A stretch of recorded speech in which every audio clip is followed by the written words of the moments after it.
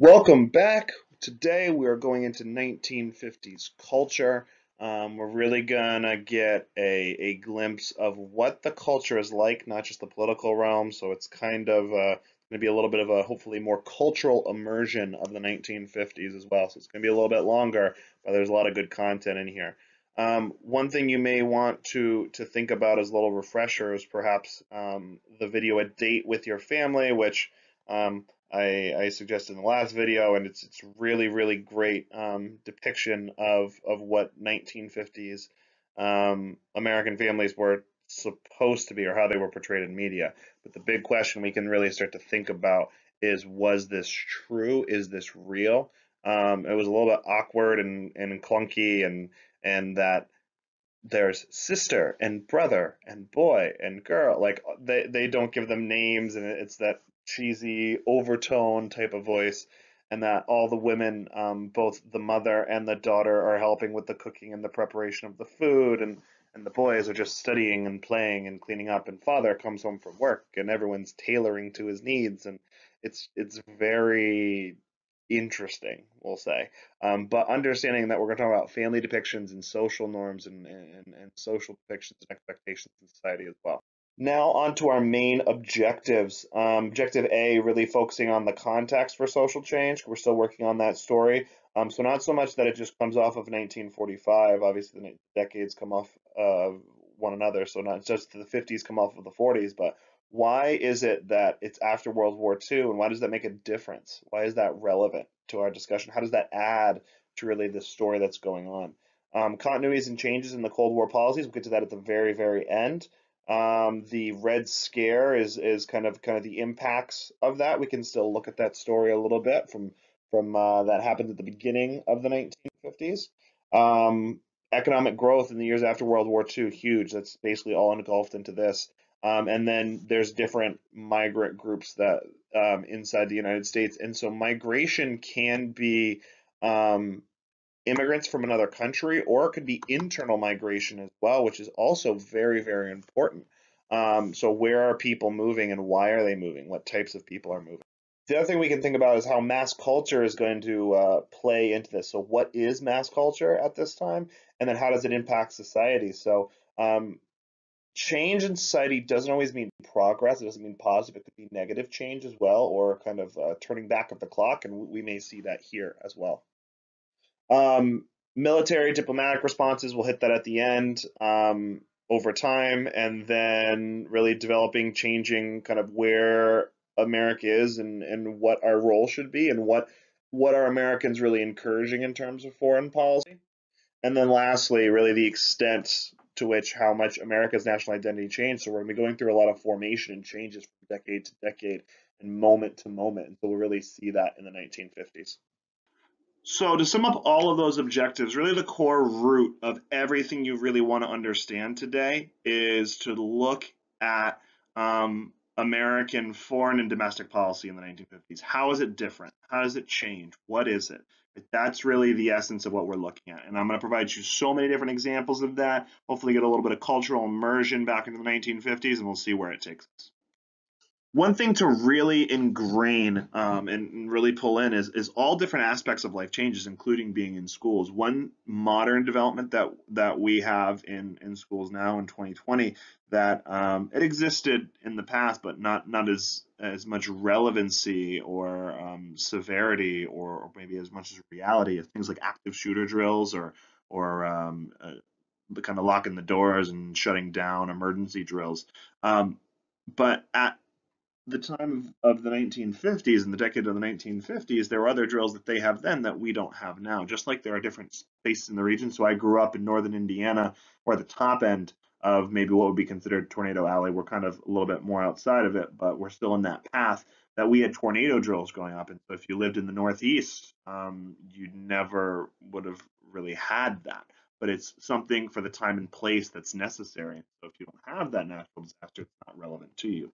One thing that's important in um, in the 1950s is really think about coming off of World War II and the prevalence of the building up of nuclear armaments. They created drills in case nuclear bombs went off, and you have something called duck and cover drills. Now, very complex system, so I made a diagram down here for you. So what you're going to do first is you're going to duck and then you're going to cover. I know. And, and then step three for you experts is, is hold on to that desk. You're going to cover yourself. An atomic bomb goes off and you're at school, so you can duck and cover up underneath something to protect any falling objects from falling on you.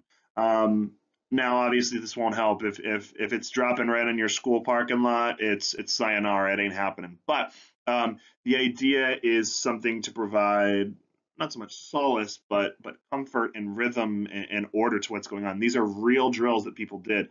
Great resource. Check out Duck and Cover. It is an amazingly cringe-worthy video. If you have not already watched it, go watch it now. It's 10 minutes. It's going to be a great 10 minutes you're going to spend learning about the 1950s. But really get an idea. And, and so I think one thing that's really important with drills is practice. So let's going to practice. You're going to hear this crazy siren go off. It's going to let you know it's time to do that drill. All right, folks, here it comes. Get under your desk, duck and cover, protect yourselves. I know, I know, it's so scary. You did it. You're so safe now. Now that you're ducked and covered underneath your desk. But this is something that seems a little bit ridiculous, but it is very real. Um, and like I said, check out that that wonderful cartoon if you have not yet done so. It is a gem to say the least. So those drills are a great piece of outside information um, for the SAQ, LEQ, DBQ that you could use and drop. Really great um, term that I, I, I, like. I think it's a, it's a fun one, but it's really easy one to remember. Um, but we're really going to take a look now into what life is like in the 1950s. Now, we had a president at the beginning of the 1950s, right, Harry Truman. He finished up FDR's fourth term after FDR dies, and he has a term of his own, and that's going to end in 1952. And so in 1952 until 1960, we are going to have a different president, President Eisenhower his modern view of what it means to be a Republican. So we got to think back about what Republicans used to be, and so what that term modern republicanism might mean. So in 1952, when we're really kind of building up this story, the backbone to all of these issues and really anything in the Cold War the issue. Why is this happening? Communism. So when we're talking about um, foreign affairs issues, the fall of China to communism. What is this big issue with Korea? We don't want Korea to fall to communism. We have the fear of, of our foreign enemy, the Soviet Union, building up their atomic bomb, building up their hydrogen bomb eventually, short into 1950s. Um, and the fear is that these communists are going to attack us, destroy our way of life. Inside the United States, there's this fear of the communists, the Red Scare really taking over, um, and it, it's really going to set itself up for a huge change. People are going to associate negativity with the presidency and the presidential party that's in power at the time, in this case, the Democrats and Truman. And so people are going to flip the script a little bit. Um, they're going to jump political parties. But there are some similarities heavily from the effects of FDR that have really kind of made wide sweeping impacts on the United States. And so a World War II general emerges as a viable candidate. No presidential history, but he becomes so attractive for a couple of reasons.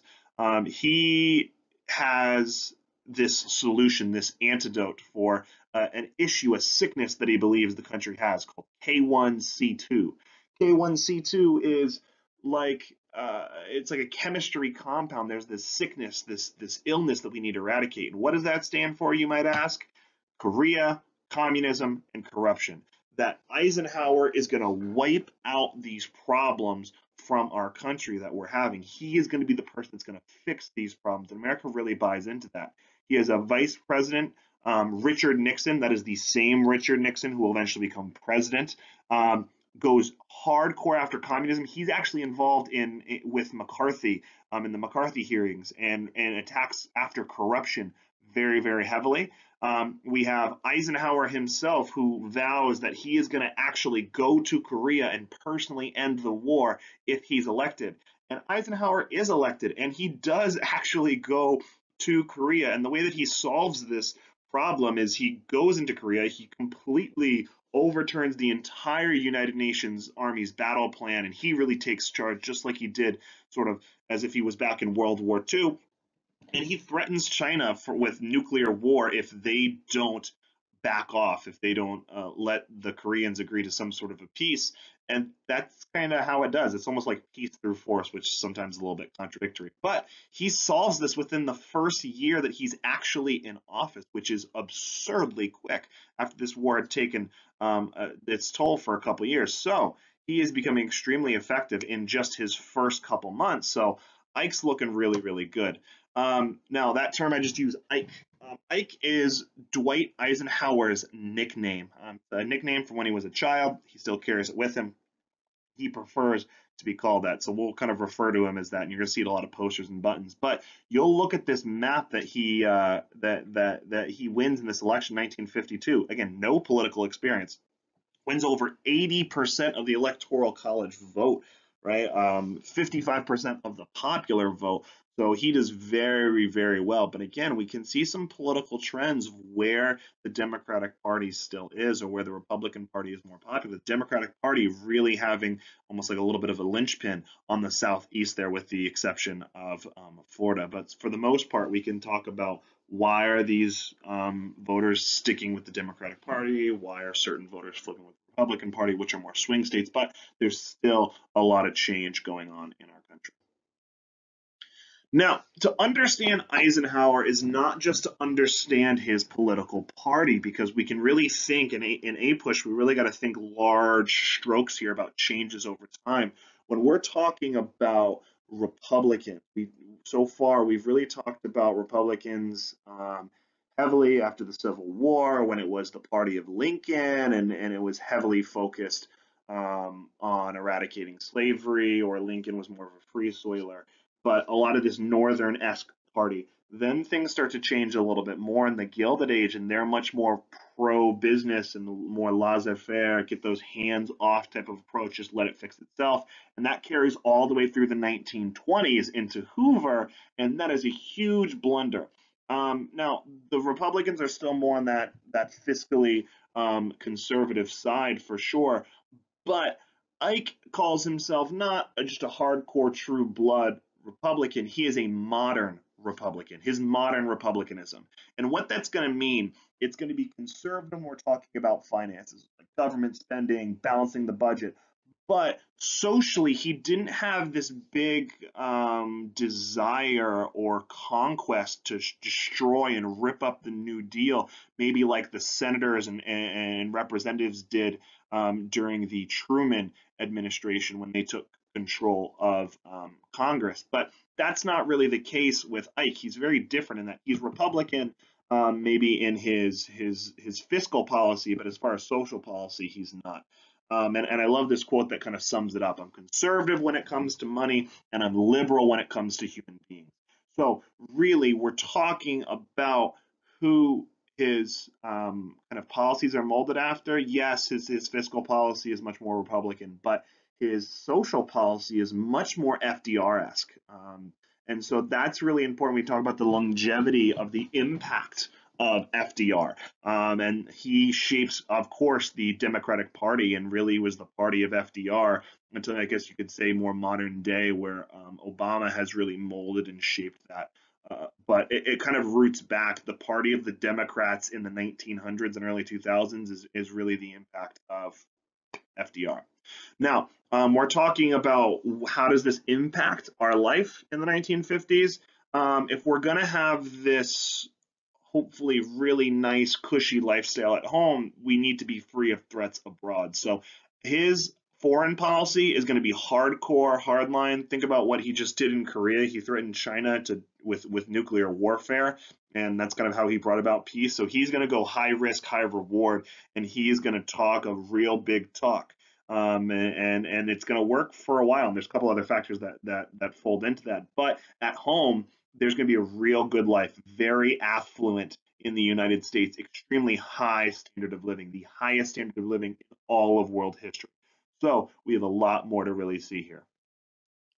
When talking about the Eisenhower presidency, um, we can can focus on so many different aspects of it, but usually one of the biggest things we talk about is the affluence, um, the standard of living um, in the 1950s in the United States is this beautiful, beautiful time.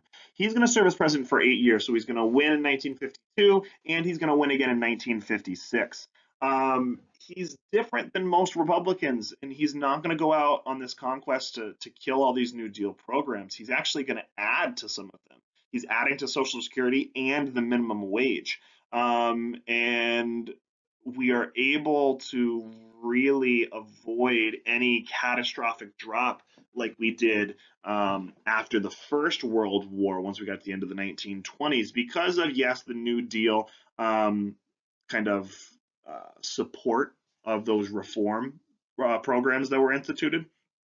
But also, um, there's there's no inflation um, really at all. Like there's not this catastrophic um, inflation that completely devalues our currency. And then at the same time, um, our, our, middle class really, really grows, is extremely strong, and allows for a wide variety of people to access these finer goods, not just the higher class that you may have seen in the 1920s he's going to use a lot of these things that FDR um, instituted. One of the best examples of this is his housing administration. Um, it's going to help subsidize and help build and boom the suburban housing industry.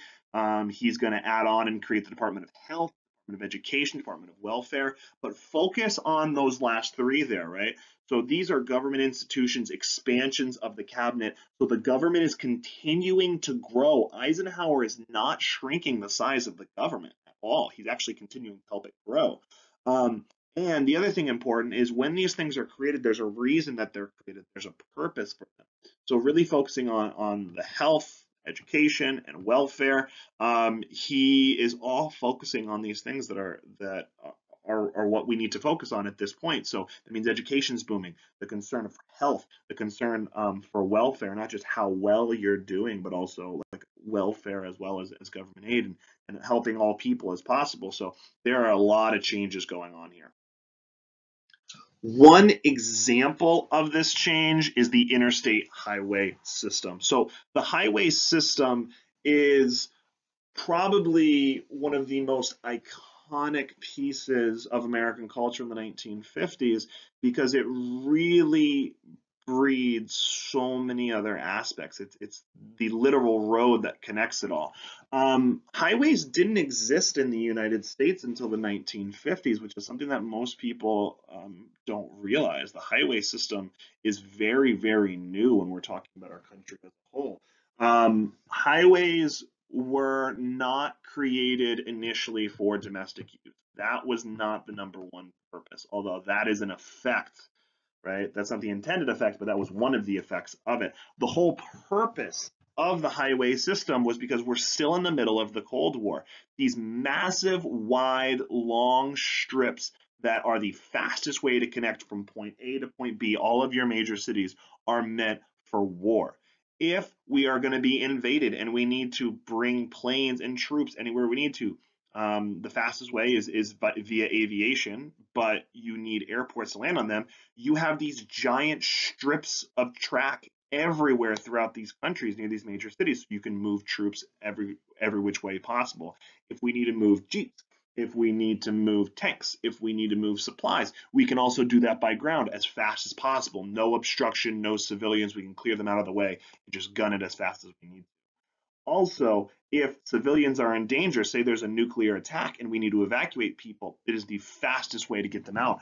Before this, you're, you're driving through country roads. Yes, you're driving through um, small towns, stop signs, stoplights. So it's not very conducive to long distance travel. The highway system changes all of that. So the intended purpose was for military protection, right, or for military need, but the actual effect and the usage of it, although that's not really ever used, the usage of it is going to be for trade. People are going to use it for vacation travel, even though it's originally intended for national defense.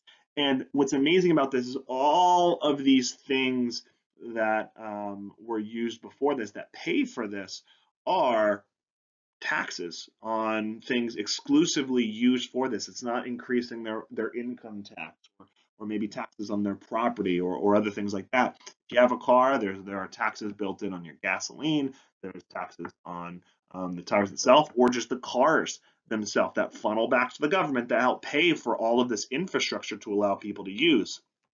You can see these giant maps here, right? Or this giant map that really shows the interconnectivity between all these different regions. You can go from LA to Boston, um, and you can make that drive, or you can go all the way down to Florida, down um, the East Coast, from Maine down to Miami. And so you really have these options of connectivity. It's not just um, for civilian use, which is a huge piece of it, but also it changes the way businesses are done. Now, to make this even more extraordinary, you don't have to live in the same town that you work in. You don't have to live in the same area you're working in. So you can live in a much nicer area and work in a busier area that may be more crowded, like an urban center. So there's going to be a lot of internal migration patterns we're going to see because of the highway system's prevalence um, is is partial is going to lead to the increase in car sales, but also the increase in car sales is also going to lead to why we can build the highway system. Um, cars this time they're going to be big bodied, they're going to be pretty long, um, a lot of storage, a lot of capabilities. It was almost like an extension of the house, and so it's a huge family experience in, in these automobiles, and people do spend a lot of time in these cars. It's going to trickle into every aspect of American culture. You're going to have people that drive it everywhere. You're to have drive-in movie theaters. You're to have bright colors. You're going to have these sleek bodies that are now put into this. It's no longer just functionality. It's also looking um, for how it's presented as well. And and so the it's it's not just uh, function, but but form and, and and look and appeal to these cars becomes a whole nother aspect of this industry that affects the car industry as well people are driving everywhere. You're driving to get to work. You can go drive to a different town for vacations. You can drive to eat. Um, you can go drive to visit family. It becomes extremely normal, and this interconnectivity becomes very, very quick, which allows for a whole different style of living. Um, people are much more mobile. They can go on these long trips. Um, they can actually experience different parts of the country, so there's more interconnectivity that way. You can build these places where people can come miles and miles to travel to. You can live further from your work, so you can live in a really nice secluded area and work in a really, really busy area where you can make a lot of money.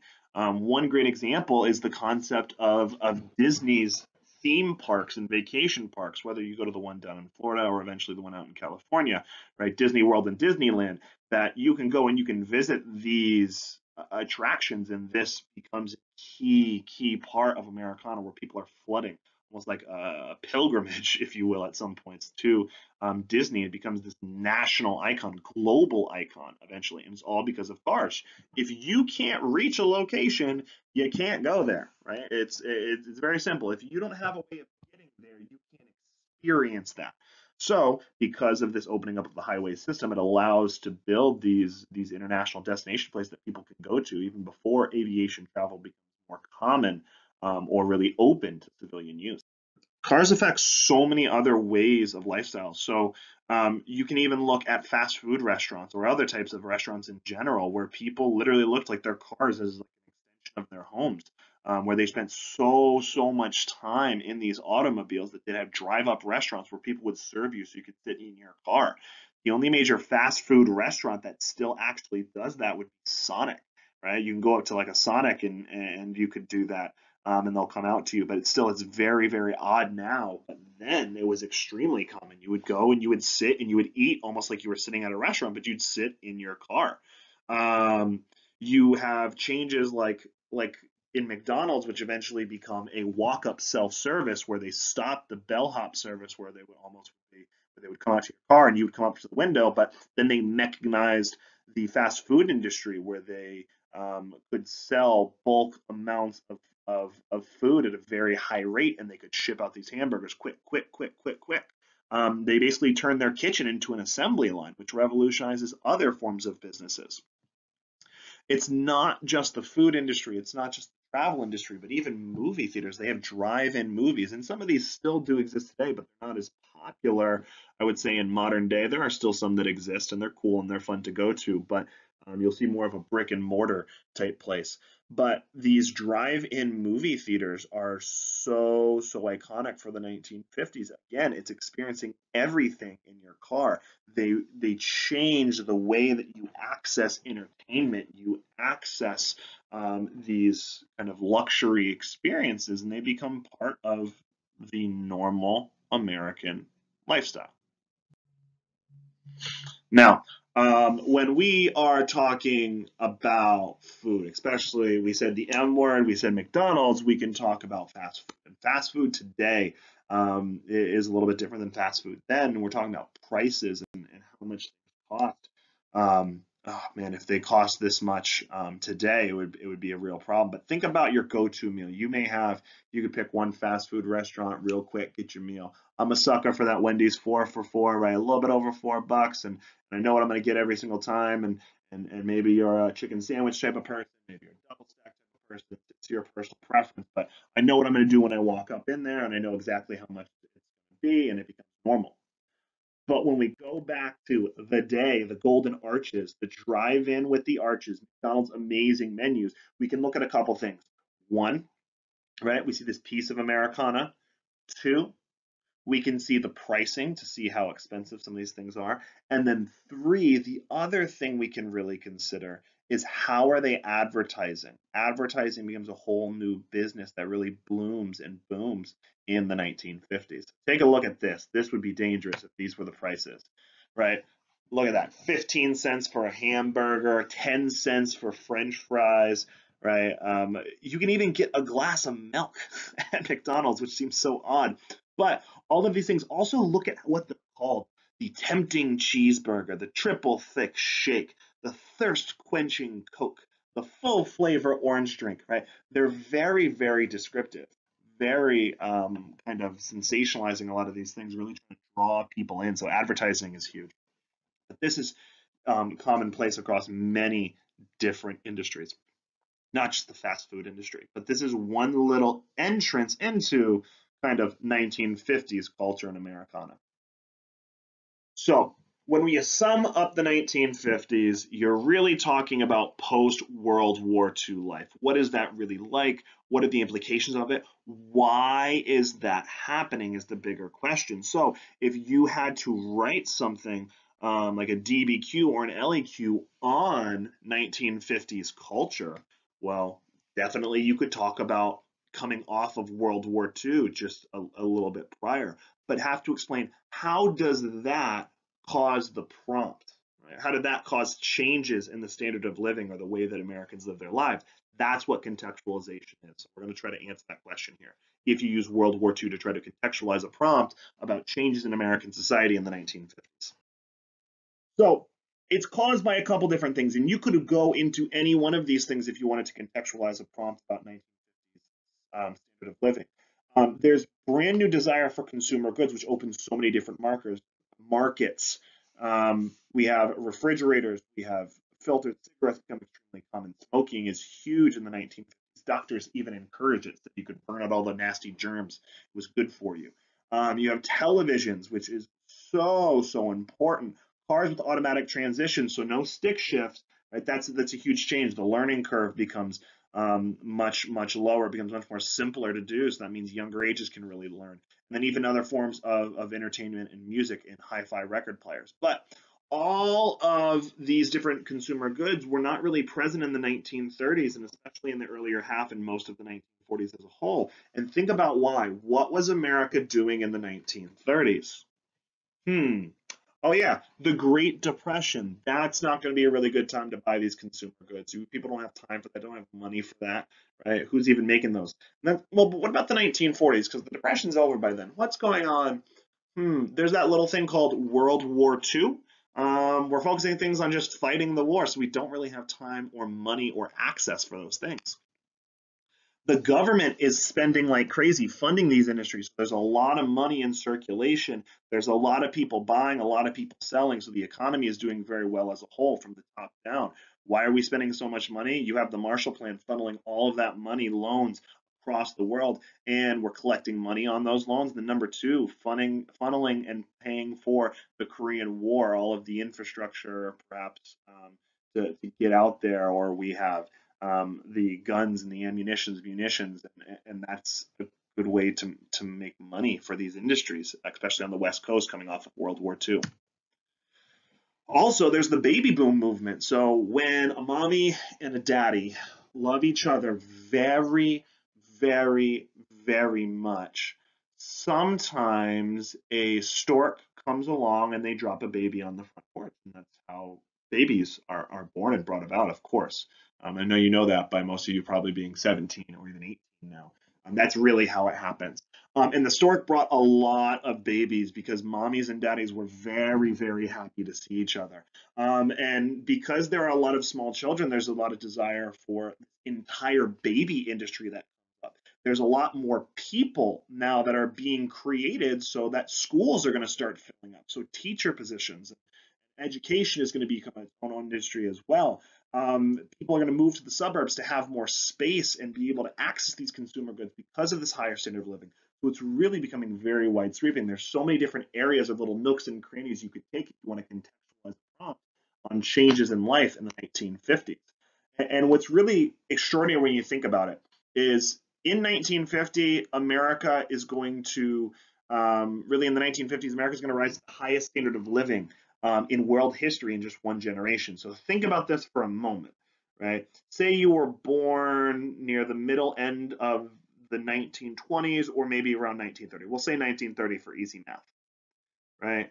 Um, you are you're growing up your your early years and, and preteen and early teen years are are the Great Depression and World War II.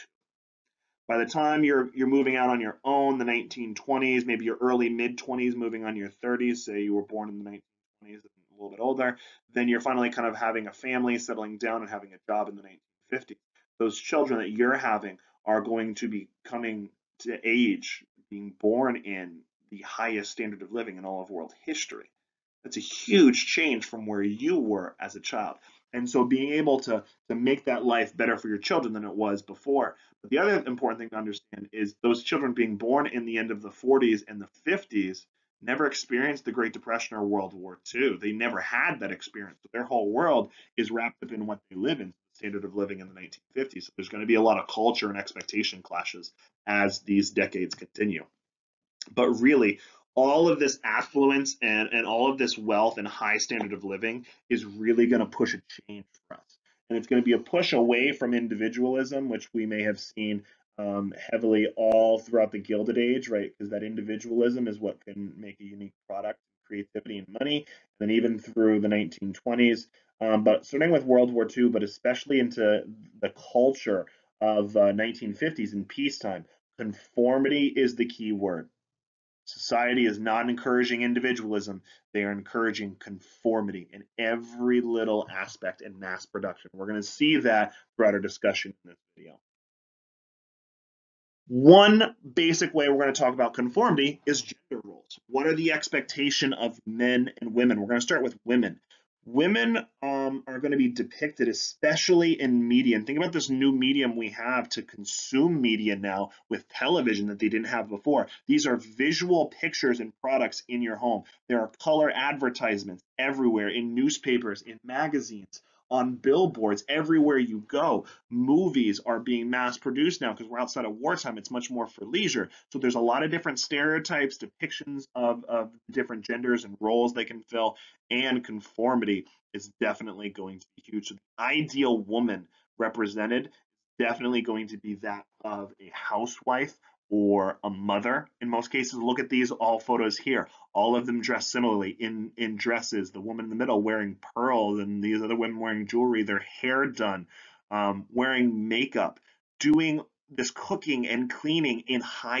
heels all throughout the house. These are the depictions you're going to see, but this is not it. Right? There's more. Talking about advertisements for products. How are products being sold?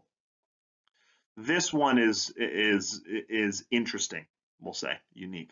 Um, it says married, no reason to neglect stockings, right? That that's no reason to get to neglect your your stockings and your appearance just because you're married.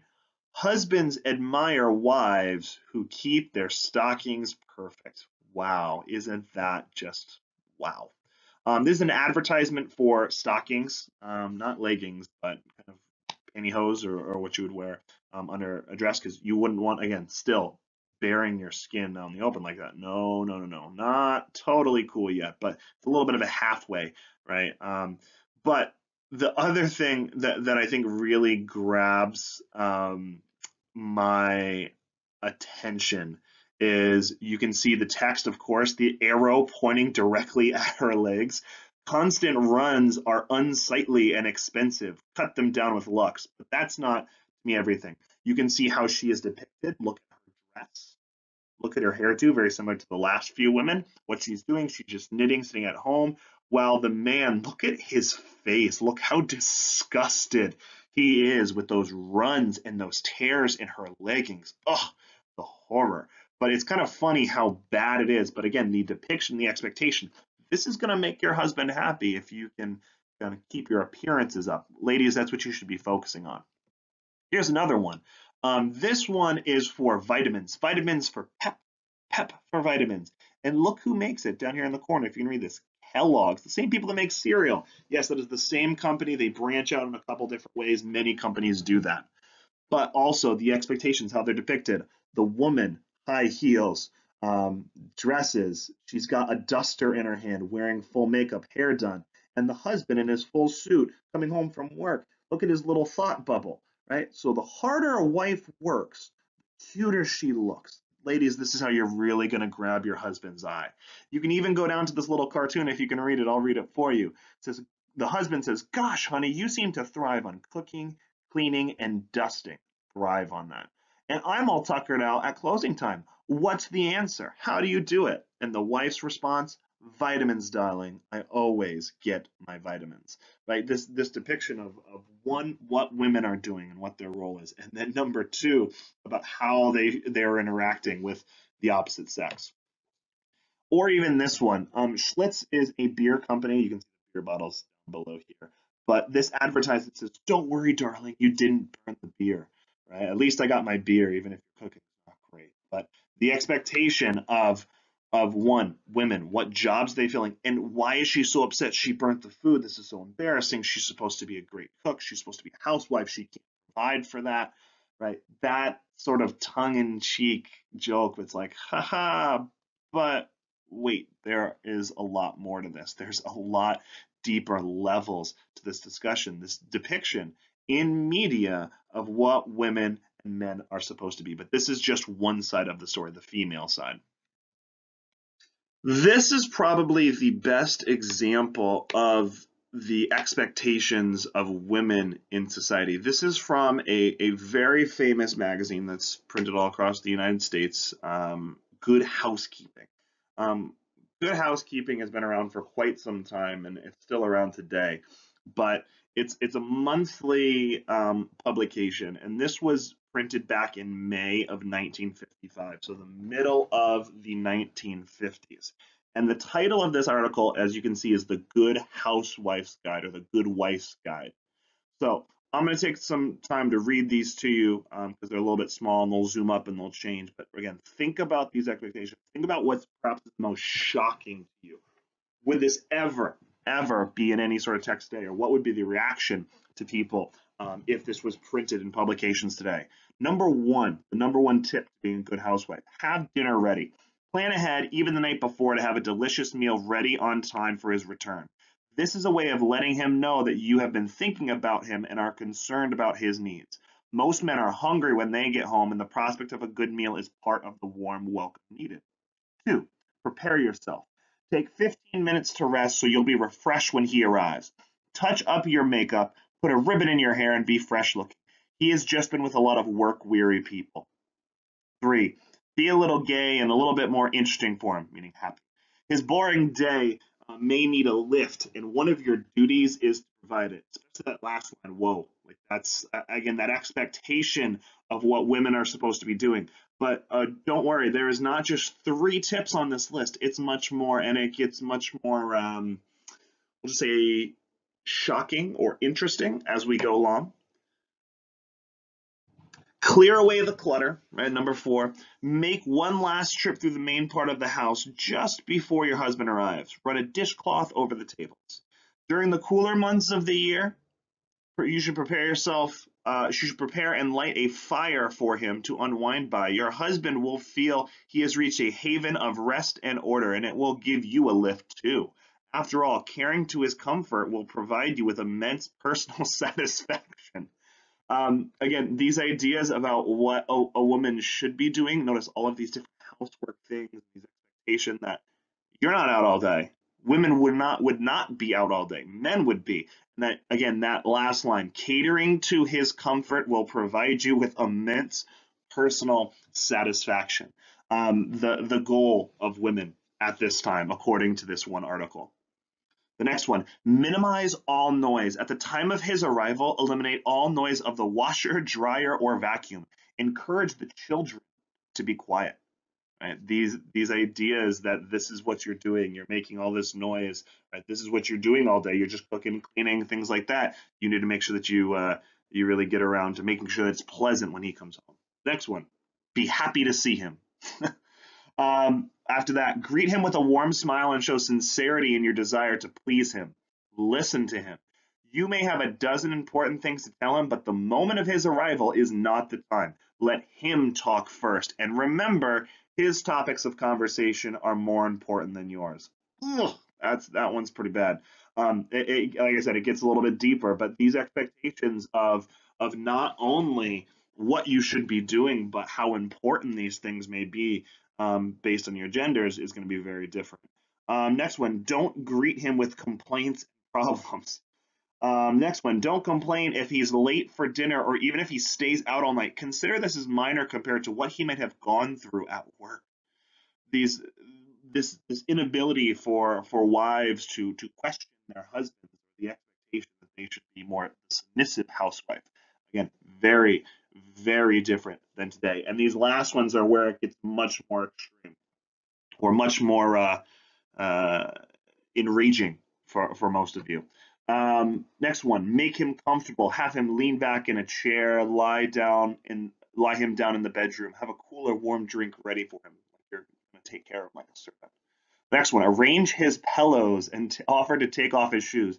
Speak in a low, soothing, and pleasant voice. Don't ask him questions about his actions or question his judgment or integrity. Remember, he is the master of the house and as such will exercise with his fairness and truthfulness. You have no right to question him. And then this last one a good wife always knows her place, right? These things, this is printed in a, giant magazine. This is not like somebody's private speech. This is not somebody's journal. This is a well read, this is a very popular monthly magazine throughout the entire country. This is not an isolated thing. So, really understanding the gender roles, how strict the expectations of them are, and how extreme they may really be. So, the big takeaway we can look at when we're looking at women is that in media, women are basically exclusively they're either mothers or they're housekeepers. That's that's pretty much how they're described, and that's just about it.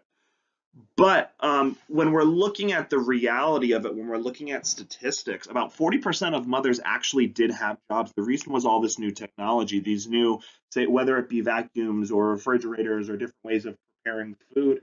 Um, in, previous decades, women stayed home. They had to make three scratch meals a day. You couldn't prepare or freeze anything and just pull it out and and and whip it together. You had to do every part of this meal from scratch, and that's a bulk of what they had to do all day.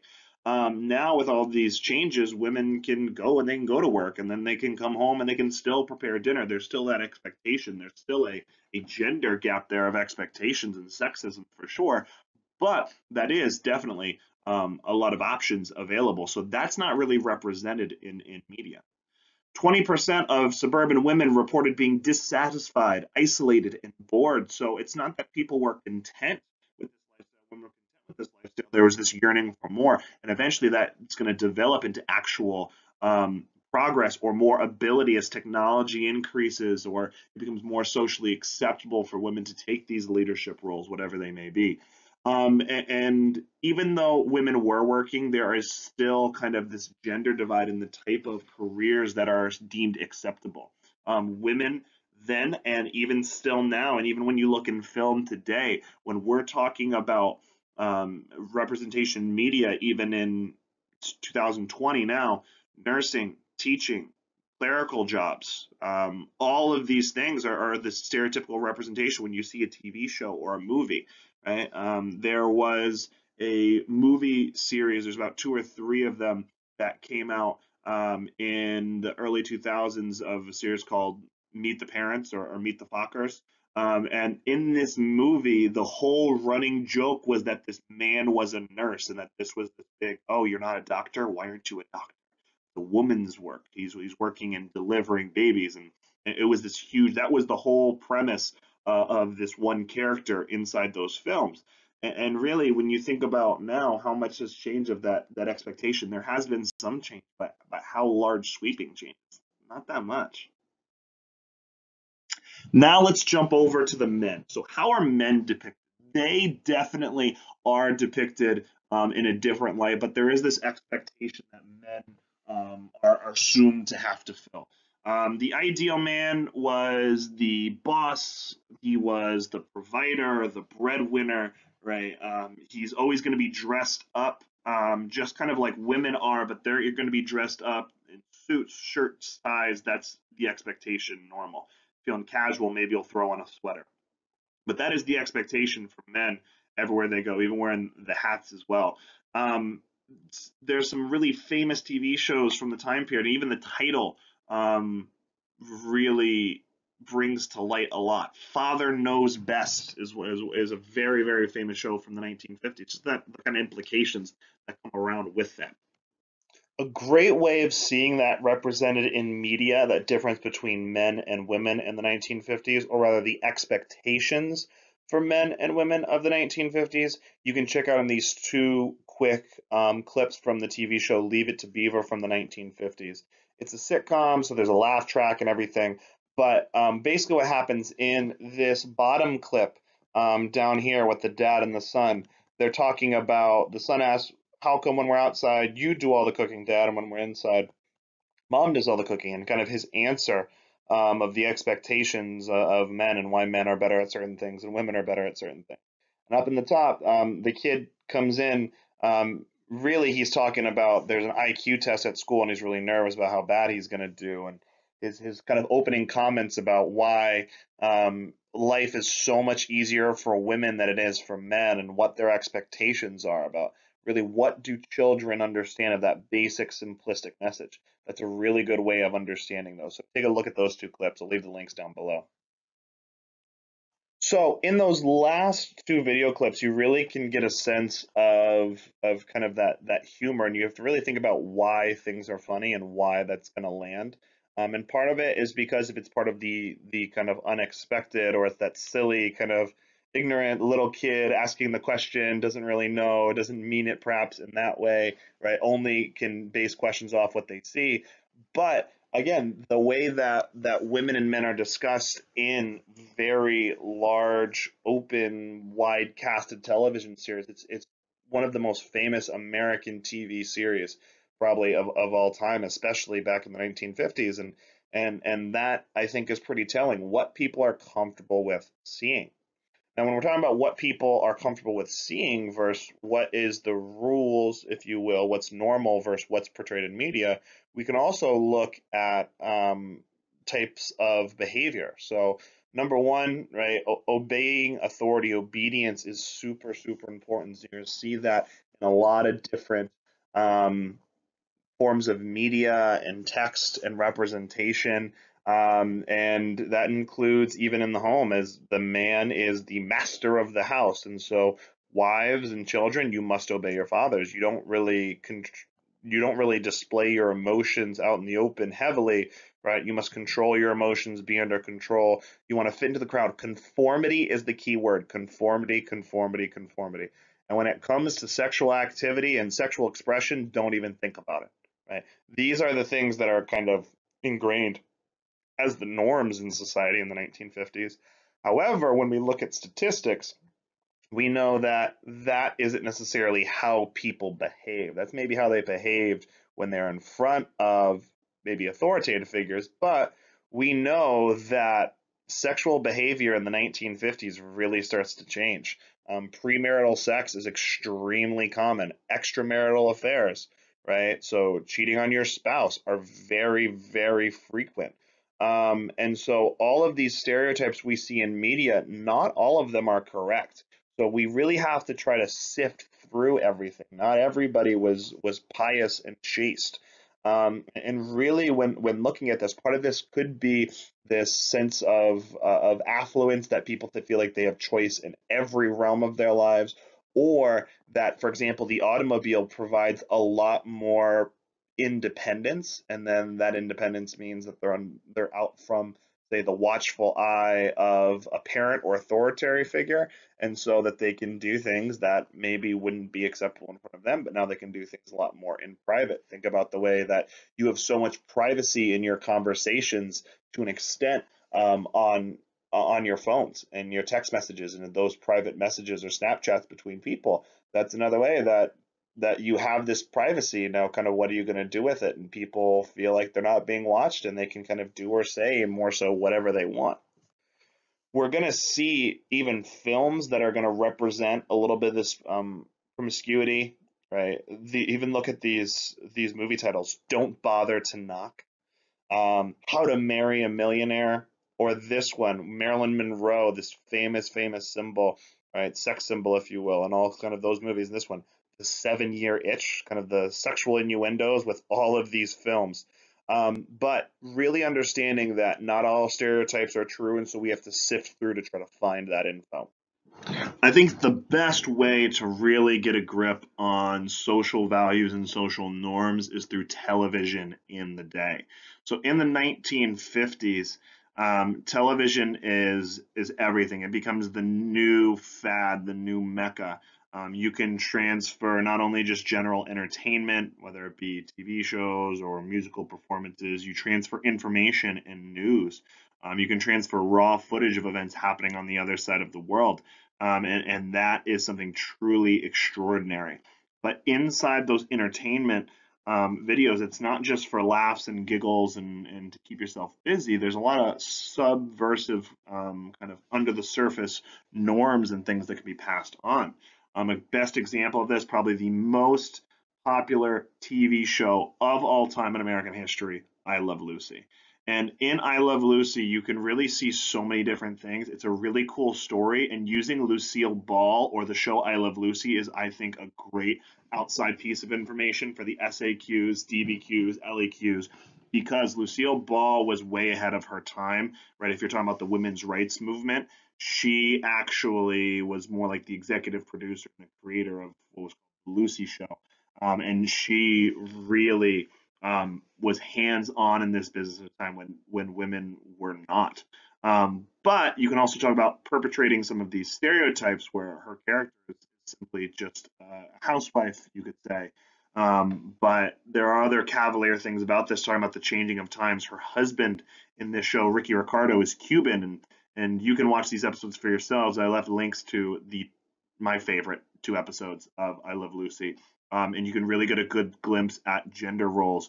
But her husband was um, Cuban in this show, um, and Ricky Ricardo allegedly had too thick of an accent that the original producers were were not comfortable with putting him as this um, main actor because his accent was way too thick. People couldn't understand when you actually listen to it. It's really not bad.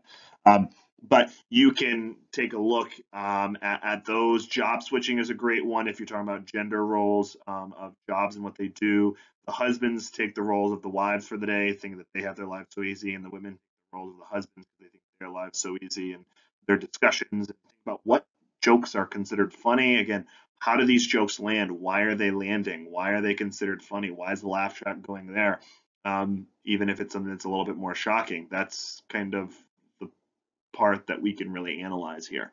Um, but really, whether you're talking about radio or we're talking about magazines, TV is going to replace either one of those that used to hold that special spot. The radio in the 1920s, 30s, um, and even into the 40s was the choice of um, American culture, but um, of, of, conveying it. But but TV surpasses all of that, and it's a really unique, special place in American culture today. We still get so much of that. So if we're talking about affluence, we've used that word quite a bit. We're talking about this high standard of living. We got to talk about money. If you look at this chart, this is the average family income um, over the decade. So from 1950 to 1960, the average income almost completely doubles. That's a lot of extra income and cash flow to have going around. And so advertising and all of these other consumer goods are really going to latch onto that. Take a look, for example, at this right here. Um, you have an advertisement for a refrigerator, but you can also look at, yes, the goods and, and that ability um, to have those goods, but also look at the depiction of women in here. Want to be a kitchen juggler? Why juggle so many foods to get a few? And look at this convenience, going to save your life. They're advertising towards women, not men, but also look how they're depicted in, in all of these um, these advertisements as as housewives again, and, and the the full dress, the hair, and the pearls, the whole nine yards, the whole get up. Um, we have other examples of luxury goods like the waffle maker. Um, again, these things are great. Do you need them? Absolutely not. You don't need them, but they're absolutely fantastic. We have a lot of extra money to buy frivolous items like this, luxury goods like this.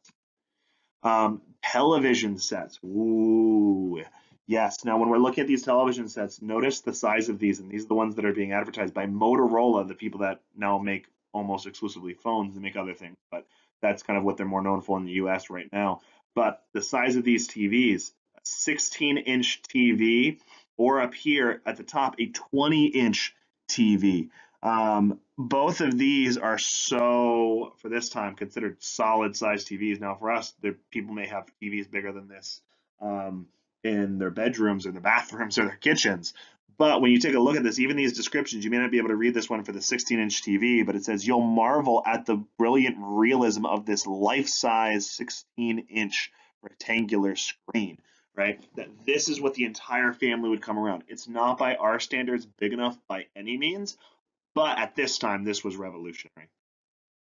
You even see the, the evolution of Tupperware. And back on that discussion of the refrigerator um, advertisement as well, really think about what implications this has. Yes, there's a lot of sexist um, representation in media for sure, but the evolution of things like the refrigerator and the freezer and Tupperware and storage and, and, and the use of food and how you're able to conserve it revolutionizes the lives of so many different people, um, namely um, those that are that are living at home and in the middle class and upper classes at this time. The middle class, especially because women now, if they want to, they can go and they can go get a job because they don't have to spend every single day making three meals from scratch. Um, they can just get up, go, and they can go to work. They can come back, and it saves so much time out of their day. The the preservation of food. So it really does change things for them. Um, you still will see all these different forms of advertising. Again, you're going to see a lot of women advertised with um, cleaning materials like you see her posing with this vacuum, the pause that refreshes at home. Or automobiles and the depiction of the family, right? There's a lot of consumer luxury goods that really do come out. Um, but with that comes a lot of buying on credit. Um, this is the total in millions of dollars of credit um, outstanding um, meaning how much is extra dollars of credit left um, that's not yet paid. A lot of it for consumer goods from 1945 to 1960. So there's this trend with the 1920s. Oh no, are we doing the same thing? And so you may receive a prompt perhaps that could compare the 1920s and 1950s, but we're going to see maybe how well the protections of the um, New Deal provisions that were put in, um, the different reforms that were put in, are these going to help us or are we going to fall through the same loopholes that we did before? I guess we'll see in the future. It's not really possible to fully talk about the um, story of the 1950s without talking about the baby boom. Okay, boomer, here we go. So when we're talking about the 40s and the 50s, um, the baby boomers are, are the generation of, of people, it's technically considered from 1945 all the way up until 1963 but um, the height of it's really going to happen in the 1950s. And we already talked about how babies come come to be when the stork drops them off when mommies and daddies love each other very much. Very excited to see each other after spending many long, grueling years at war. Very excited. And so a lot of babies are going to be born, a lot of human making going on. Um, this baby boom is, is going to happen. In 1957, on average, a baby was born every seven seconds. That is a lot of children. Because of that, in our capitalistic system, people will find ways to monetize off these new ideas. Gerber Foods, for example, entire baby industries are born, whether it's the food industry, whether it's the baby literature, or even if it's something like toys, right? Fisher Price is still around today. Um, my grandmother used to have this awesome toy that when we came over to her house, we'd get to play with, and we were always fighting over. Um, but it was like a giant pedal car, like the Flintstones, in red and yellow, these these bright colors. But this was all about an entire new industry being born because of this. Education industry, healthcare industry, childcare industries are also really blooming because of the amount of children around. You can also see the amount of school enrollment, and it's very important to understand this graph. This doesn't tell you how many people were born at this time.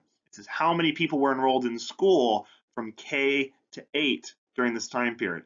1910, 1920, 1930. So understand this gap between um, 1920 and 1930 is really going to be um, because of the roaring 20s. So people are being very successful. By here, 1930 to 1940, why is there a huge, huge drop here? Hmm, let's see. Oh yeah, the Great Depression. World War II breaks out. So World War II happens from 1939 to 1945. America gets involved in about 1941.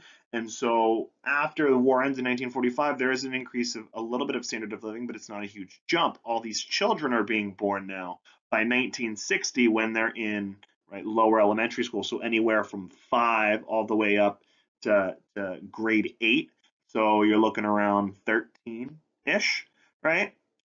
That's a huge spike. All these children now being born that are actually seen in schools, and then continued even further up into the 1970s. So there are definitely changes in society as a result. So education becomes much more important. There's huge enrollment in school, which wasn't necessarily the norm before. Once we start talking about the amount of people that are increased, population increase, we can also talk about how other ways that's going to impact besides just the boom of a baby um, marketing and, baby food and baby um, toy industry. Um, we can also talk about how it's going to change the way and places that we live. So, because of this extra access to um, funds and money, and that population is growing, people need places to live. And because of this access to funds and the innovation of the automobile, people can work in different places um, than they live. And so people can work in a big urban city, but they can live in a more peaceful, calm, um, subdued, uh, secluded area than actually in that urban center. So a lot of blue collar and white collar workers can now actually live in the same area, which wasn't necessarily the case before, where you needed, especially if you were one of these lower collar, um, lower caliber workers or lower level workers on the totem pole, right? You had to live where you were to save money, and you had multi generational families inside of um, the same tenants um, that we saw in the Gilded Age. But if you move to these new areas, now you have a different way of accessing materials. It's not just where you live. You need food, you need any other consumer goods. There's all these other stores that really start to open up. So suburbs because become really independent upon cars and grocery stores and shopping centers and all of these things really start to build out there. So more construction is going to come, more forms of business are going to come into these different towns. Um, the life inside of these homes is not going to be the extended family, but there may only be two or so bedrooms. But people have enough money on their own that they can separate, and they're going to have their own homes. So the nuclear family, mom, dad, and and say two kids. Um, and, and, then in addition to that, there's also demographic changes, so complexity. Not everybody moves to the suburbs. Um, there are going to be um, a disproportionate amount of African Americans left behind in the urban centers because of their lack of access to the same level of increase that whites may be able to experience, a sort of glass ceiling, if you will. And that phenomena of all or almost all of this white population migrating out of the urban center to the suburbs um, is called white flight. And really leaves behind the urban core or structure of the city as being more predominantly African American. So we can make the claims that in the 1950s there was a drastic increase in the standard of living, but not all Americans experienced it the same way. There were laws and rules that were put up that prevented African Americans still from buying homes in certain neighborhoods. Um, and so that made it very, very difficult in certain areas for African Americans to really try to get ahead an example right of these suburban lifestyle homes is in levittown new york. Levittown new york began really as um, a system set up to rent homes to veterans coming back from the wars and getting them kind of back on their feet giving them transition eventually they could buy became so so successful. And as more people wanted to move out of the urban center and had all this extra money they really recognized that they could mass produce these homes at a very quick rate, and it boomed from 1947 up to 1951 to 17,000 um, homes sold um, during this time period. And, and you look at this massive grid work all throughout and how expansive this system was. Um, they were able to mass produce it, um, and mom and dad and the two or three little kids can live in this very simple American style home, this Americana right dream of the 1950s. You can pick one of the two style homes. You can have a Cape Cod or you can have a ranch style house. Some of you may have a style of house like this, but this kind of, or you may live in a neighborhood like this where there's a lot of homes that they all look really, really, really, really similar. Maybe it's all in color tone, maybe it's all in shape, but you can build these on a very large scale very, very quickly. And there's not necessarily that individuality. They're all looking the same. Um, this has come up on the AP exam a couple times, but there's different songs and artists of the time that will critique sort of this mass production. There's a song called Ticky Tacky Little Boxes, um, and the lyrics have been used, I believe, in the multiple choice section at times. Um, what the past, I think two or three years they've they've come up in, in in some forms of the test not in all of them but in 2018 and 2019 and uh, it's really this critique about the conformity of, of what's going on in this country at this time of this mass production. Everything being mass produced this area of the suburbs is really where you're going to see the largest amount of growth or the quickest amount of growth. But with that comes a lot of other things that that may not be as overt, but things we can start to trickle in. It's a piece of information, this cause and effect relationship. Because people have this extra money and because of changes that have come over time, and we're in a time of peace and affluence, um, there's a lot more free time, and, and a lot of these conservative values are really going to start to trickle back into society. We're talking about the prevalence of religion and, and church membership is definitely going to increase.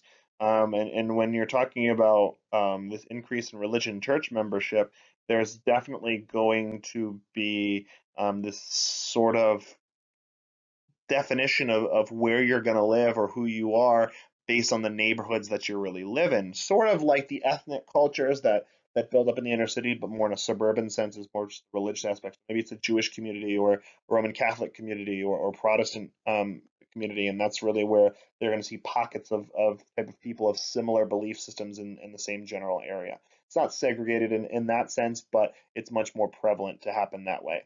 You're also going to see um, things like at the federal level, the Pledge of Allegiance, we're going to add in phrases of religion. So we add in that phrase after one nation, under God, really stapling in that that religious value in our pledge to our flag that students say every single morning um, in schools all across the country.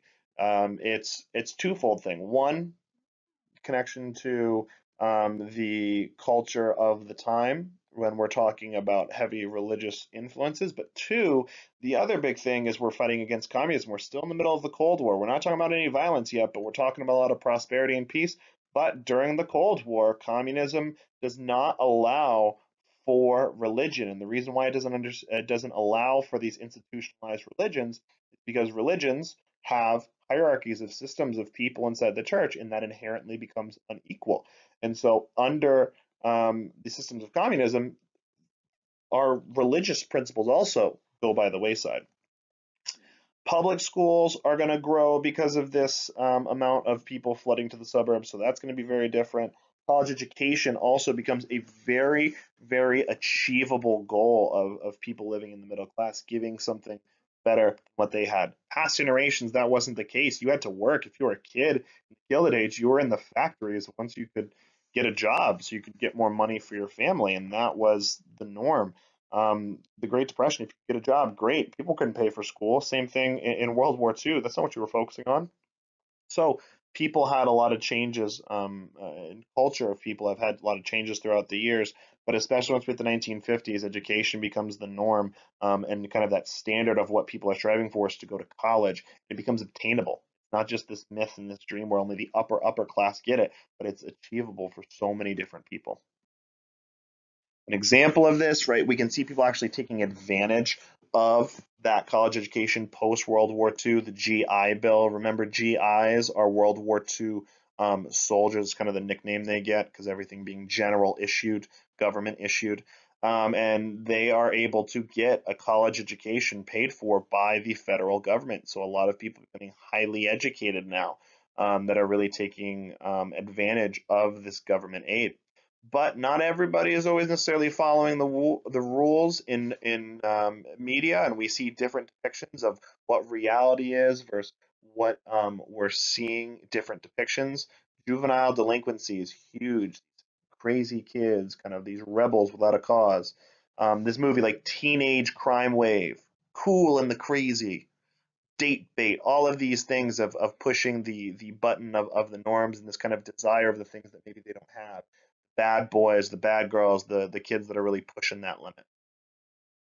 A great example of this sort of cultural change is when we look at the music of the 1950s.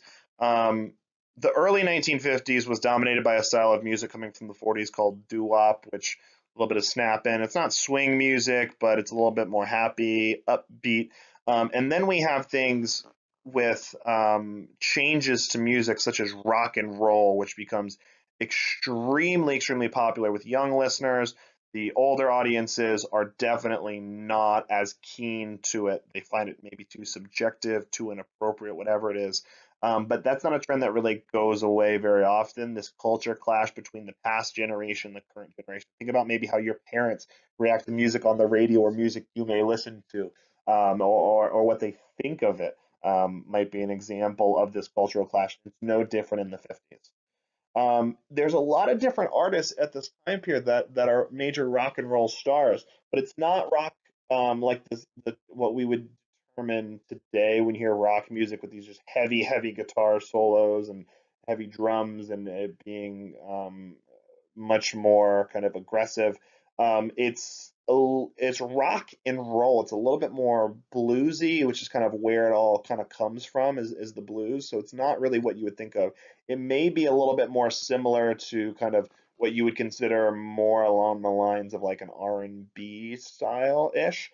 Um, you have a lot of black artists. My favorite um, rock and roll um, artist from the time period is definitely Ray Charles. Love Ray Charles, but there's other famous names like Chuck Berry, Fats Domino, Little Richard, and there are also some major white artists as well. But understand that both of these type of artists are going to hit the mainstream.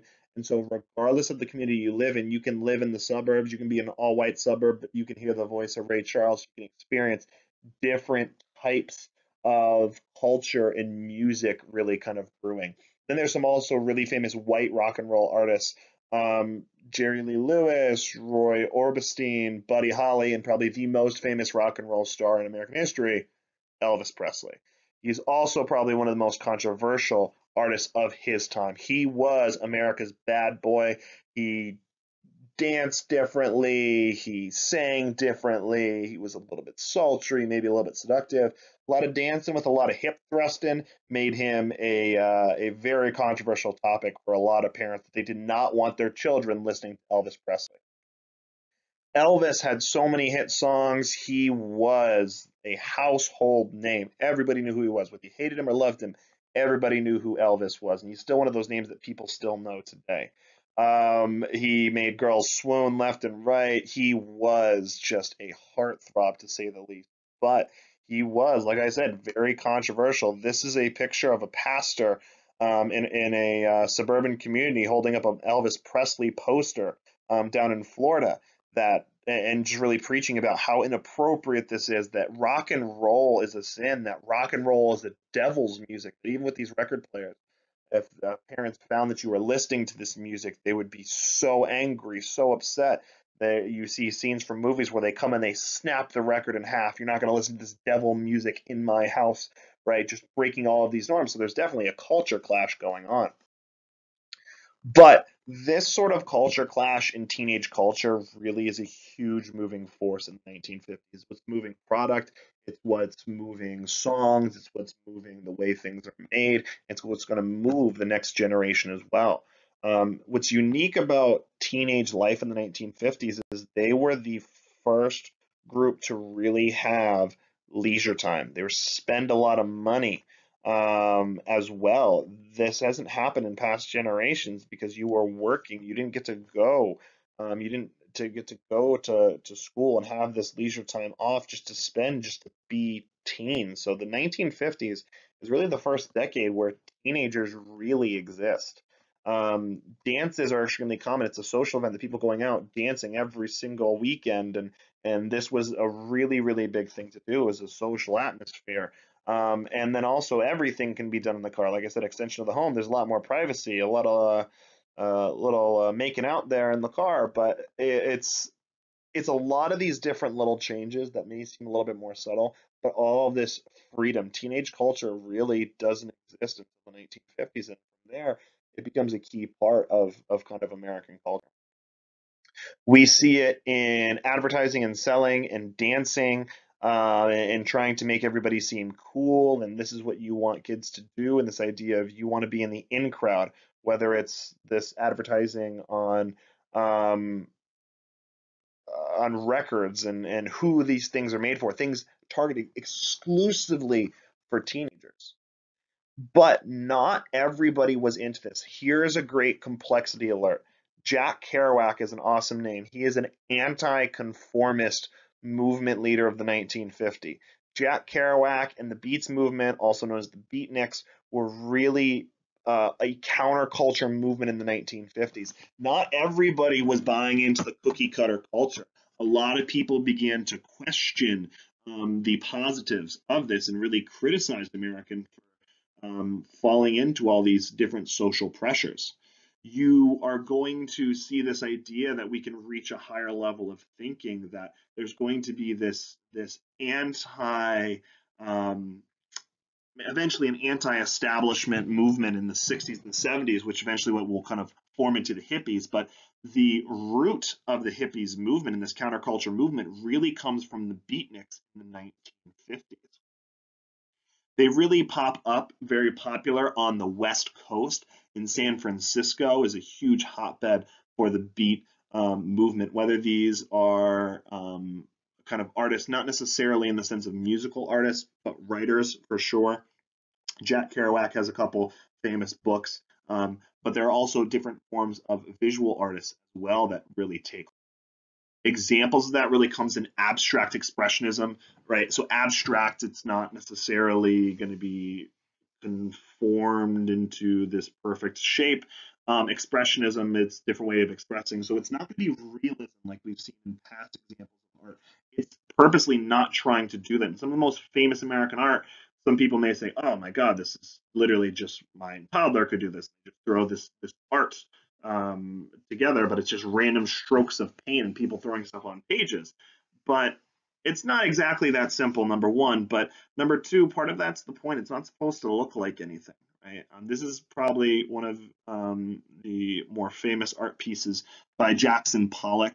Um, famous American artist um, during the 50s, um, a critique on just kind of this mass production realism, stretching the constraints of what realism is. Um, we see Mark Rothko again examples that it doesn't necessarily have to look like anything. It's not supposed to? Why should it have to? And really pushing these realms of individuality. Or might be the most famous American artist of this time period, Andy Warhol. And you may have seen photos done in this styling, right? All of these pictures of the famous um, actress at the time, Marilyn Monroe, all in these different shades, hues, colors. But everything and everyone is being mass produced, and that's sort of his critique that there is no individuality. All we're doing is we're just rinsing repeating. We're trying to keep up with the Joneses, and all we're doing is everybody has the same thing, every little thing. Maybe that song that you remember when we were talking about the um, 1950s houses in Levittown, the ticky-tacky little boxes. This one's green, this one's red, this one's blue. They're all looking the same. All these people living in the same style of houses. All these people looking the same. And this is usually what makes people laugh. But this is one of the most expensive American art pieces um, that exists. This massive collection of original Andy Warhol's paintings of Campbell Soup. But all of these things in America, his message essentially is that everything is being mass produced. So you can look at this conformity discussion through literature, you can look at it through visual arts, you can look at it through advertising, you can look at it through housing, you can look at through so many different lenses. This is just one way that we can really see it and hit it, but another way that we can dig into that complexity discussion. There are some things that Eisenhower does actually deal with um, in terms of foreign affairs. It's not all he deals with. Um, most things we focus on the prosperity of the 1950s, but we're going to take a look at some of these foreign affairs issues he sort of runs into. Ike was oddly, I don't want to say perfect, but but a really really good fit for being a Cold War president, just coming off of World War II, being very successful, um, and he has some very clear goals on how to uh, about what he wants to accomplish, and then how he's going to accomplish them.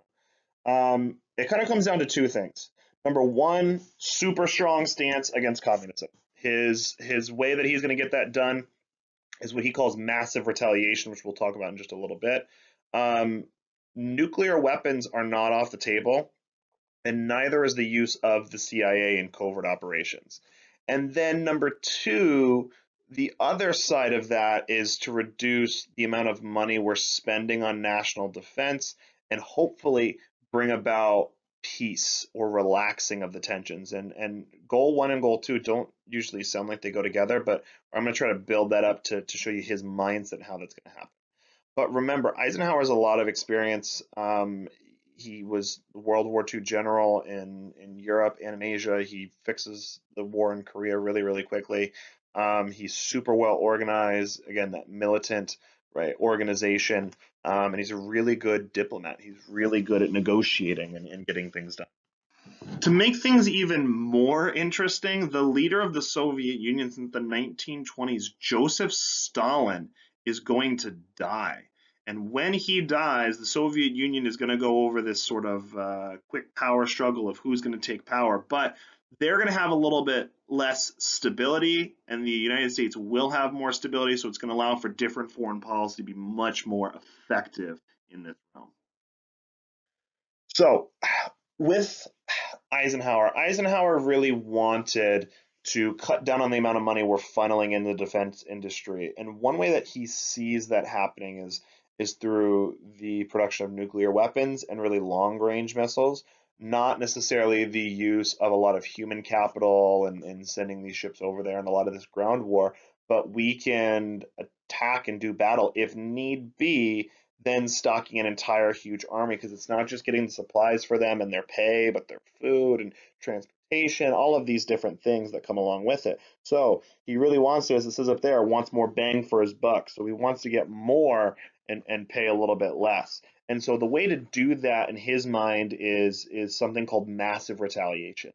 So it was this idea that we would target very key specific locations to really try to um, force the hand of our enemy. So they may do something, but we will threaten a huge, huge repercussion and they have to follow through on that of what's going to happen. Now, the use of nuclear weapons hopefully would then become unlikely so that this nuclear war would not break out too, because that war would be very expensive. Um, but if we threaten them with this really, really, really big threat, um, and they don't agree to these demands or they don't agree to peace, there's no other course of action, right? It's kind of like in active shooter drills. um, or these lockdown drills that you're supposed to stay in the corner and stay quiet, and that works all well. But until that, once that dangerous person gets in the door, it kind of opens up the huge flaw in that. That's no longer valuable. So we threaten them and say we need to do this or else, and they say I don't really care. Where are we going to go from there? What's our next step? We don't really know. Um, this is really heavily relying on a, another term, and so these two terms are going to be kind of lumped together to really understand Ike's foreign policy. It's something called brinksmanship, really kind of going to the brink of war is what that term sort of means um, to accomplish the goal. Like it, it, it will be threatening to use these really big weapons, and Ike is not afraid to talk the big talk. Like he'll he'll say, "I'll pull the nuclear weapon out." He did it in Korea. Oh, we'll drop this bomb on you real quick. Do not test us right? Now, it, it, eventually, it's not really an actual threat, but we want to build up to show them that we have these really big weapons that we can use. Don't make us use it. Sort of like the big stick diplomacy of TR, right? Roosevelt way back in uh, in the early 1900s, except for not really hoping to use them. But it's it's kind of trying to flex our muscles to to show them here's what we can do. Don't make us do it you can really lead to some some big things. Now the problem is is what if somebody calls your bluff? That can lead to huge devastating devastating effects.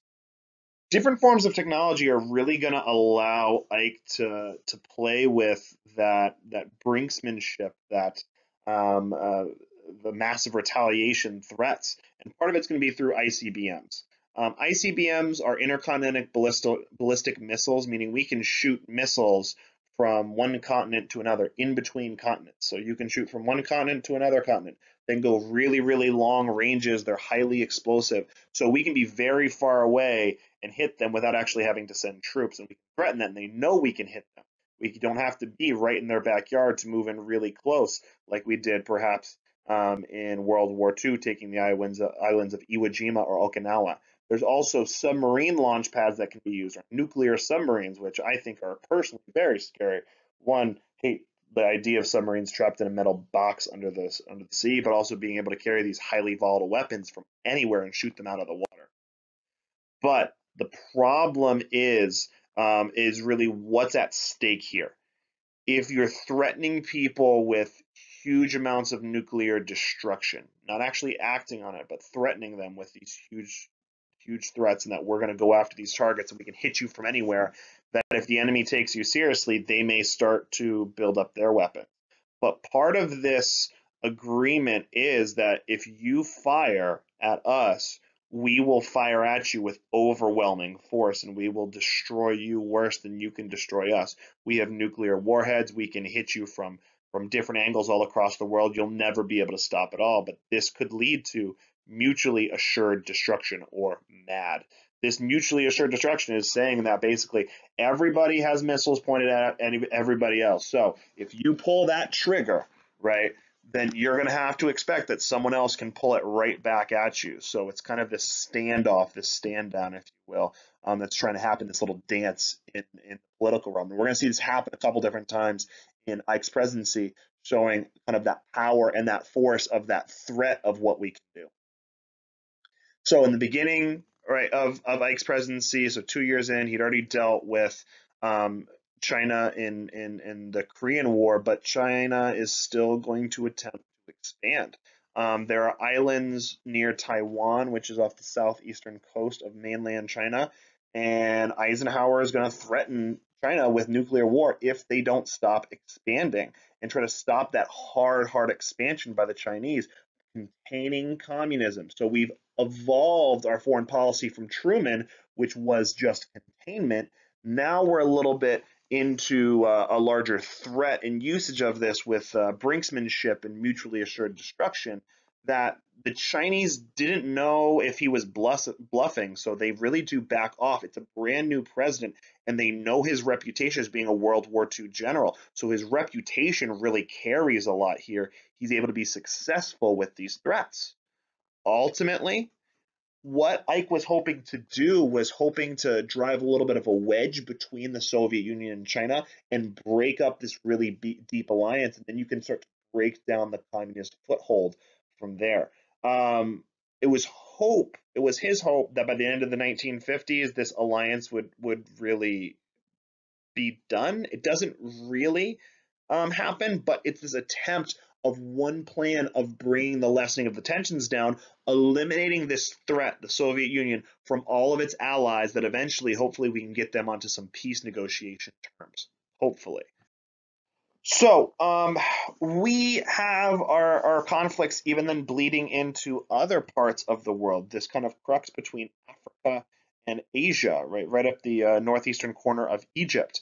And there are a lot of problems that are happening in this region. You may remember we talked about this general region here um, when we were talking about the Truman Doctrine and sending aid to Greece. You can see the outline here, or Turkey right here, trying to create a little bit of a buffer zone, if you will, from um, communism spreading into Africa, which at this point is relatively protected from it. But um, what happens is our ex-allied forces, the French and the English, are going to actually invade Egypt to take control of the Suez Canal, which is right here. The Suez Canal, as you can see, is this waterway which connects the Mediterranean Sea into the Red Sea. It is almost like this line that's completely controlled and blocking off that remaining chunk um, from Asia that you can almost set up a wall, if you will, there of democratic countries. The problem is um, the Soviet Union is vastly against this. They feel that this restricts the free trade of these other countries, their ability to access these other countries, or um, these other countries' ability to trade, and, and they're fearful of being almost locked out of this region. So they're going to be vastly opposed. So where does the United States fit into this whole issue? The United States fits in when Eisenhower really gets involved, and he is really fearful of the Soviet Union attacking could brawl out into a war. So his way of preventing this attack is a really, really, really big threat. Um, his threat with the Soviet Union is we will drop atomic bombs on your land if you do not back off if they start something, we may have to hit them. And if necessary, with everything in the bucket, we're going to use everything that we have. We're really trying to prevent them from attacking this region to really create this buffer zone. How this whole thing ultimately pays off, again, this is a use of brinkmanship, willing to go up to the brink of war and threaten these really big threats, willing to uh, threaten massive retaliation if they take this action England, France, and the Soviet Union all leave Europe, and that's how this whole thing de-escalates. The problem is, the United States is now left in this region trying to sort of become the leader and the protector of it, because it's not so much that we want this region, we just want this region not to fall by the communist wayside, so we feel like we can't leave. America's involvement in the Middle East is starting all the way back in the 1950s, folks. This is not just something that happens right after 9 11. This so-called Suez crisis is just one example of the communist threat in our mind expanding around the world, expanding into the Middle East.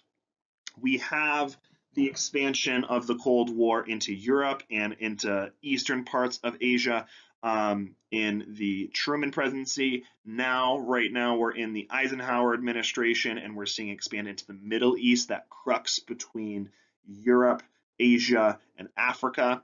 Um, and so Eisenhower kind of announces this doctrine. Truman does it, as does Monroe in different time periods for different reasons, but that this recommendation that America puts armed forces to protect the Middle East from communism. That again, it's this fear that we cannot allow this region to fall. They're either with us or against us.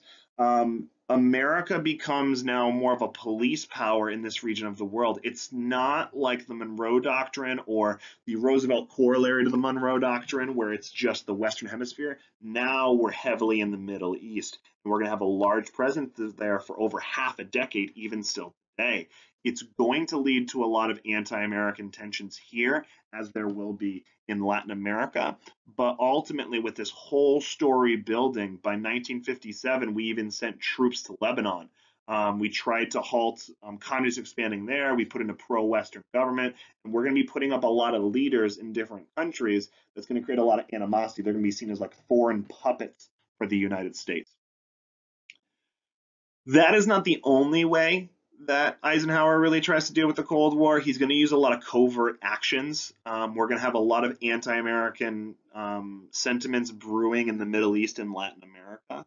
And we're hoping that regardless of what happens, as long as they don't fall to communism, everything is justified. That includes overthrowing um, governments in Iran, which is a huge country that we are still involved in, have been involved in for quite some time.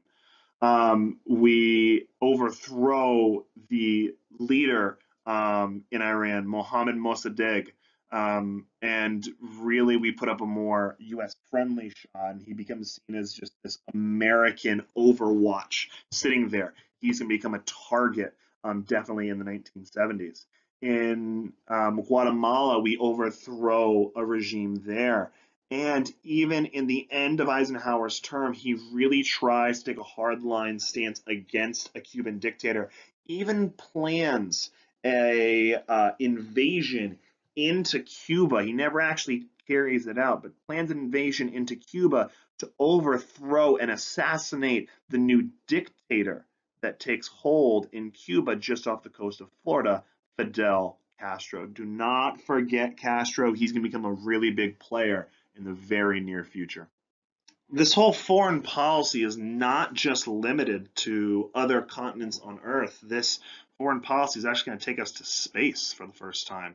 Um, in 1957, the Soviets actually beat us to space, so the Americans are not the first people to space um, we actually are, are going to be deeply disturbed by the Soviets successfully launching the satellite Sputnik. Now, Sputnik in Russian literally translates to satellite. So the satellite satellite is actually launched into space, and um, Americans start freaking out because we don't really know what's going to happen next. We are behind the curve now. We are losing this Cold War race with the Soviet Unions. The reason why satellites are so important they're going to allow us to really use these intercontinental, intercontinental ballistic missiles, ICBMs, because they need to know where to hit. They need to know where to go. And these satellites allow that GPS system, um, if you will, to, to really get that missile from point A to point B of detonation. When this goes up, the new Soviet leader of uh, of, the, of the USSR, Nikita Khrushchev, Khrushchev is a huge name, not to be forgotten um, is is really going to take um, Sputnik and, and, use it as as definitely a fear tactic one. But there's military and, and just advantages to it. But the biggest thing is really the perception of everything. Um, this sort of message that that he puts out: "We will bury you. Your children or your grandchildren will live under communism." That Soviet Union is, is coming back with a force. This is the new Stalin, if you will, that he's taking the country in a totally different direction. Um, and so as a result, Americans really speed up their plans to build any ICBMs or IRBM submarines. IRBM is intermediate range ballistic missiles, um, so medium range versus really, really long range ones. There's all of these types of, uh, of warfare that's really escalating. So with the successful launch of Sputnik by the Soviets, are they spying on us? What do they see? How far can they see? And people really don't know what's. But it, it creates this massive fear and motivation in the United States. Because of this fear, Americans really double down on work ethic, competitive edge, and really trying to get things done. For example, we create NASA, the National Aeronautics and Space Administration in 1958. We create a government run program specifically um, to focus on this space race. And another thing that is created is the National Defense Education Act, promoting math, sciences, technology education, right? Eventually um, becomes STEM, or today we may use the term STEAM as well. Um, but all of, uh, of this focus on things about, remember, building these missiles or these weapons or having better technology so we can kind of um, beat them out. And the other really interesting thing, a byproduct of the NDEA, is the advanced placement program, putting more high level classes in these high school settings, creating more rigor. Uh, this is really going to be interesting because this gives birth to the courses um, that you're taking today, these AP courses. So you can thank Sputnik for that one. This is a picture of Sputnik. It, it looks really weird. It's, it's like a globe with four little antennas, but it creates this massive amount of fear until Americans really are going to push for this change to actually be um, ahead of the Soviets, and it's going to drive American thinking for the next decade. Now, they may not actually be ahead of us. They beat us to space, but they may not actually be ahead of us in so many other areas. But the fear is that if they did this, what else is next? We're going to put our first American um, in space um, eventually with Alan Shepard, and then we will send um, these men to space. We'll get them into space in the 1950s, and they will come back successfully, which is huge. Um, but eventually, we will put this huge space race to the moon. That'll take place in the Kennedy administration. But um, the big thing that Ike really tries to push for is, is trying to find peace. Um, both sides are testing ridiculously new, powerful weapons, hydrogen bombs and ICBMs. Hydrogen bomb is way more powerful than an atomic bomb. To show you the level of scope and power we're talking here, this tiny little circle in the middle here is the wave of um, the atomic bomb, a two mile radius. A hydrogen bomb has a blast radius and impact radius of over 20 miles. It is so much more devastating. Really, he's going to push for peace programs and disarmament. Um, one is called Atoms for Peace, which he proposes to the United Nations. And even Khrushchev um, is going to get involved in this, but he is going to reject these plans because the Soviet Union is really pushing to get ahead, doesn't want to be even, wants the Soviet Union to get ahead. So it's not going to be as successful for weapon disarmament. So what Eisenhower is really gonna gonna warn of in this final term um, is is at the end of his farewell address, he's gonna warn the United States against something he calls the military-industrial complex. And what that is, is a very intricate system um, of, of intertwining between government contracting, military leaders, and, and, and bureaucrats, politicians, that we are spending so much money that it will completely dominate domestic and foreign policy, that other things will go by the wayside and cause our country to really dissipate and fall apart. And you can see even in some states um, here in 1952 where the value um, of these military contracts based on per person compared to the national average is so much greater where the defense industries in these states are so deeply deeply tied um, to that that it's going to make a huge dependency on them that they will eventually will not be able to have a lifeline without it. It will become almost incessant that we're continually building our military and our funding for it. Um, this sort of triangle of death is really going to tie into each other. So, for example, um, there's going to be really big um, military contractors that are going to be vying for um, this approval or these government jobs that are constant, really good paying and funding. And so they're going to give a bunch of money to different politicians going into Congress who would then pass these laws. Those congressmen um, that are elected then are going to be passing different forms of tax funding and breaks for the Department of Defense, who is going to then use these tax funded contracts to send out to a very select few large military contractors, sort of creating a monopoly esque style system. But um, it's really, really going to be this endless cycle where each one feeds the next one it's going to become this huge problem where there's lobbyists, these defense contractors, and people giving campaign campaign contributions to um, these people who are trying to influence um, the media outlets and influence the voters who put in the senators and congressmen who then um, are sitting on these armed forces committees that give money back to these defense contractors and one after the other. This whole dependency on um, the military defense industry is going to be one of the biggest reasons why the Soviets um, are, are, ultimately going to collapse at the end of the 1940s and early 1990s. But this reliance is something that Ike is really, really scared of. It's the final thing he sort of warns of as his curtain closes, as his administration ends. Now, this is an extremely long video, and I'm fully aware of that. So um, I really wanted to close with some final, final conclusions for us here, really to think about it way. By 1960, so by the end of the 1950s, um, American people were very optimistic about their stance and their role in the world. America has a very strong foreign policy, very greatly respected. Um, we have a huge um, kind of prevalence of power and the standard of living is huge. We're no longer really afraid of this return to depression. We don't feel like we're in that volatile stage. We feel like we're very, very, very secure. There was Cold War anxiety, whether you're talking about the Red Scare or duck and cover drills, but it's nowhere near as severe as it was at the end of the 40s under Truman. And ultimately, at the end of the day, there were many concerns that are still left. We haven't dived into um, the civil rights movement yet. We're going to give it its whole video, or maybe you have to split up into two um, on those issues. But American values of conformity are really, really being brought up and questioned. Um, so it's not so much foreign policy that becomes a big question, but a lot of the domestic stuff that really happens in the 1950s. I hope this helps. I try to make it as in depth as possible to cover so many different bases. But um, if you have any questions, as always, leave some comments down in the section below. See ya.